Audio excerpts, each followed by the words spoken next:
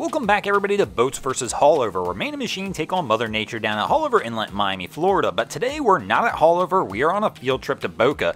And it's not always the wind and waves you gotta battle. Sometimes if it's a busy day at the inlet, it's gonna be the wake from the other vessels passing through the inlet as well. Let's see how the rest of our captains fare as we begin this contest.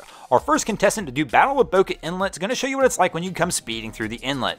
Here we can see it's kind of a calm day, and this Magnum Marine with twin Mercury 250s is blasting its way toward Boca Inlet. We do have a few rollers here and there, but for the most part, it's not really a tight chop. There's no heavy following sea, and my man's going to show you how to straight blast it in. But don't worry, they're going to do it both ways. This crew turned it around in Lake Boca and came blasting back out the inlet with the throttles pinned and will absolutely annihilate Boca in this round. I have no choice but to give this as an easy win to the boats here in the first round. But let's see how our second round contestant fares as they prepare to do battle with Boca. But whatever you do when you're coming through any inlet in South Florida, heck, any inlet anywhere, please don't do this.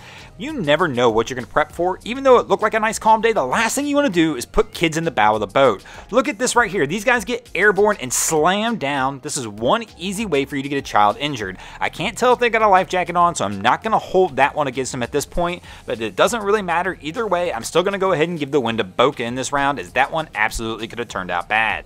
Our contestant in the third round is going to show you what it's like when you have a little bit of an easier time coming through the inlet.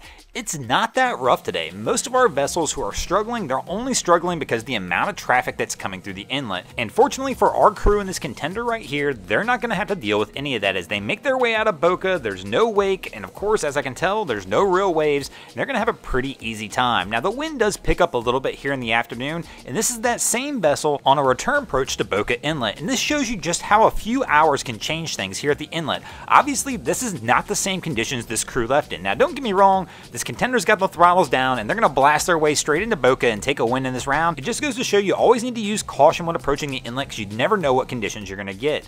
Our next contestant is going to show you what happens when you go through the inlet and things don't go as planned. Here we can see this Sea Fox come rolling out of Boca Inlet, and apparently these guys are actually physically trying to stuff the bow, and they're not succeeding at all.